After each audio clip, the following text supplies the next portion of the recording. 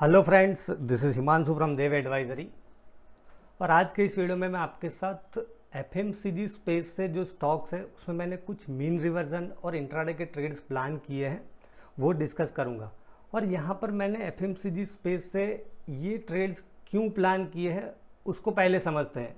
तो जो इंडेक्स है निफ्टी एफएमसीजी उसका स्ट्रक्चर देखते हैं बिफोर डिस्कसिंग इंडिविजुअल स्टॉक्स तो यहाँ पर देखिए कि mean reversion that means a technical bounce around at E M या तो ट्वेंटी ई एम मैं एक्सपेक्ट कर रहा हूँ। तो उसका लॉजिक क्या है? पहले वो समझते हैं। तो यहाँ पर देखिए, एक नॉर्मल स्क्वीज थी लो कॉम्प्रेशन स्क्वीज हम बोल सकते हैं। और यहाँ पर जो लोअर बैंड है, उसके आसपास प्राइस जो है ट्रेड कर रहा है। दूसरी चीज़ 20 ई जो है, उससे काफ़ी यहाँ पर डेवेट हो चुकी है प्राइस और यहाँ पर गैप डाउन हुआ था। ये जो कैंडल देख रहे हो, यहाँ पर सेवन्थ मार्च को गैप डाउन हुआ था, बट आज यहाँ पर कोई एक फॉलोअप मूव हमें देखने को नहीं मिला है। मारूबुजू टाइप की कैंडल है। This is an inside day that means previous day high और लो की रेंज में ही हमने ट्रेड किया था। So all this factors are suggesting कि यहाँ पर जो सेलिंग प्रेशर है माइट भी थोड़ा हॉल्ट हो सकता है और हम यहाँ पर एक टेक्निकल बाउंस एक्सपेक्ट कर सकते हैं। जैसे मैंने आपके साथ आईजीएल का डिस्कस किया था। सो so, आई में हमने देखा था कि 352 के ऊपर एक अच्छा टेक्निकल बाउंस आ सकता है और आज स्ट्रॉन्ग मोमेंटम हमें देखने को मिला। तो उसी तरह का ये स्ट्रक्चर मुझे लग रहा है कि यहाँ पर जो है सेलिंग थोड़ा हॉल्ट हो सकता है। तो एट ई या तो ट्वेंटी ई के आसपास एक टेक्निकल बाउंस यहाँ पर इंडेक्स में हमें देखने को मिल सकता है। सो so, यहाँ पर अब मैंने कुछ स्टॉक्स सिलेक्ट किए हुए हैं। तो अब हम इंडिविजुअल स्टॉक्स देखते हैं, जो पहला स्टॉक है that is Hindustan Unilever H का हम स्ट्रक्चर देखें तो यहाँ पर देखिए हाई कॉम्प्रेशन स्क्वीज थी और डबल टू डबल ज़ीरो के आसपास एक स्ट्रॉन्ग सपोर्ट था। और जैसे ही वो सपोर्ट को ब्रेक किया, एक रिलेंटलेस सेलिंग प्रेशर हमें देखने को मिला। और अब ये जो स्टॉक है 20 ई से काफ़ी डेवेट हो गया है तो माइट भी यहाँ पर 8 ई या तो 20 ई के आसपास एक बाउंस आ सकता है, या तो ये जो प्रीवियस सपोर्ट जोन था around double two double zero उसके आसपास भी जा सकता है। और यहाँ पर देखिए कि ग्रीन कैंडल बनाई हुए दैट मीन्स कि यहाँ पर एक टेक्निकल बाउंस आने की पॉसिबिलिटीज़ लग रही है, जिस हिसाब से हमने इंडेक्स का स्ट्रक्चर देखा। तो यहाँ पर मेरा जो प्लान है, अब ये जो टेक्निकल बाउंस है उसको मैं किस तरह से प्लान कर रहा हूँ प्ले करने का। तो मेरा जो एग्जीक्यूशन जो रहेगा, वो रहेगा via put credit spread that means मेरा जो प्लान है, वो ये है यहाँ पर। इन द मनी जो पुट है, उसको मैं राइट करूँगा और आउट ऑफ़ द मनी जो पुट है, उसको मैं बाय कर लूँगा।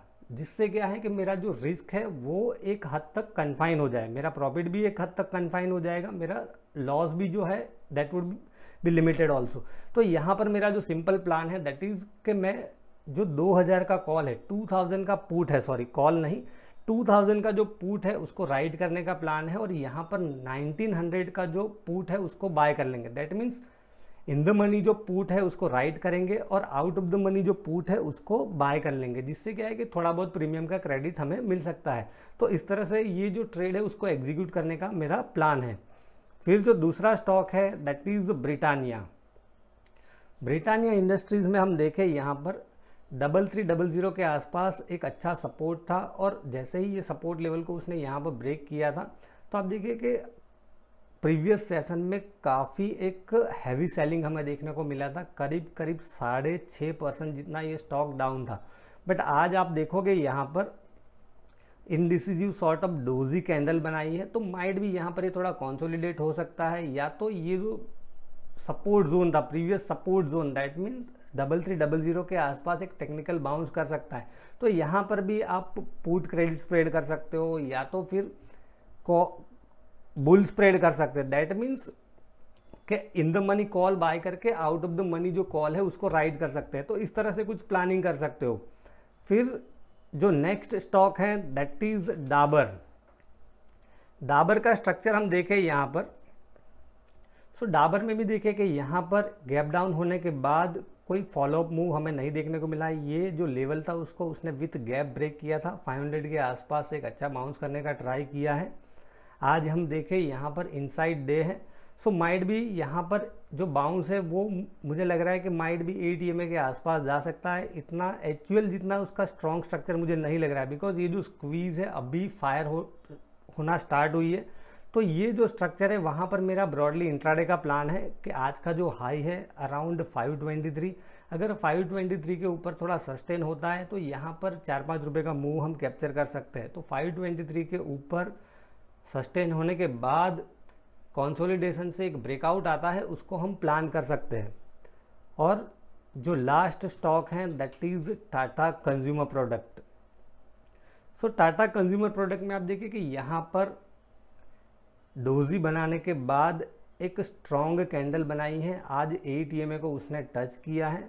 और जिस हिसाब से हमने देखा कि इंडेक्स में बाउंस आ सकता है तो ये जो स्टॉक है आज का जो हाई है that is around 688 so so, 688 के ऊपर यहाँ पर थोड़ा सस्टेन हुआ तो मेरा ब्रॉड प्लान यहाँ पर इंट्राडे का ही है कि 688 के ऊपर जिस तरह से मैंने डाबर में बताया कि 688 के ऊपर थोड़ा सस्टेन होता है तो माइट भी यहाँ पर 10 या 15 रुपए का मूव हम कैप्चर कर सकते हैं।